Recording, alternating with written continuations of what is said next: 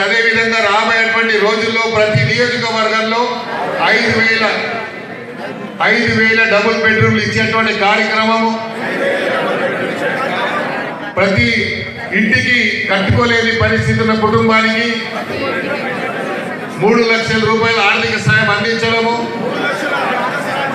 ఇవన్నీ కార్యక్రమాలు చేసి మనందరినీ ఆదుకుంటున్నటువంటి ముఖ్యమంత్రి గారికి నిరంతరం మా బాధ్యతను విస్మరించమని మాకు పార్టీ ఏ బాధ్యత ఇచ్చినా ఆ బాధ్యతని తూచా తప్పకుండా పాటిస్తామని కంకణ బద్దలై నిరంతరం బిఆర్ఎస్ పార్టీ ఎన్టీసీఆర్ గారి కీర్తిని ప్రపంచానికి చాటే విధంగా మా వంతు బాధ్యత మేము నిర్వహిస్తామని ఈ సందర్భంగా ప్రతిజ్ఞ చేస్తా ఉన్నాం జై తెలంగాణ జై తెలంగాణ కేసీఆర్ గారి నాయకత్వం కేసీఆర్ గారి నాయకత్వం ఈరోజు నియోజకవర్గం ప్రతినిధుల సభ ఎంతో వైభవంగా ఎంతో ఘనంగా జరిగింది.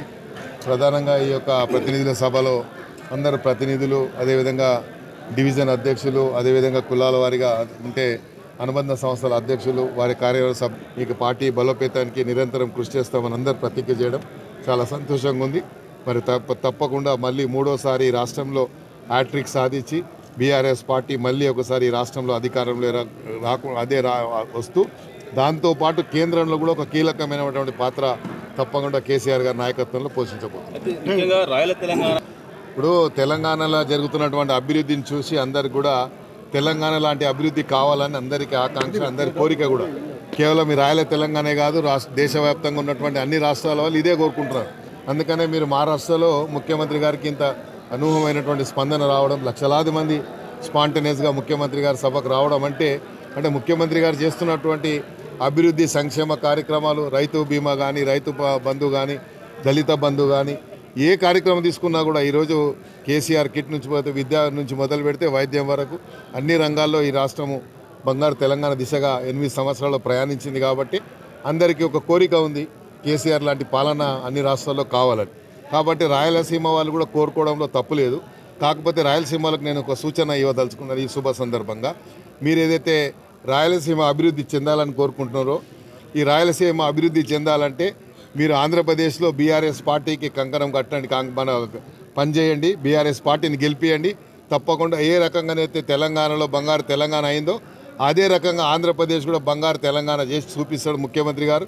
మీరైతే పోలవరం ప్రాజెక్టు కట్టలేక తడచ తడబడబడుతున్నారో పోలవరం ప్రాజెక్ట్ని తక్కువ సమయంలో కట్టి భారతదేశ చరిత్రలో ఒక సృష్టి మన ఒక ఒకటి చూపి చూపిస్తాడు. ఎందుకంటే కాళేశ్వరం ప్రాజెక్ట్ని మీరు చూశారు.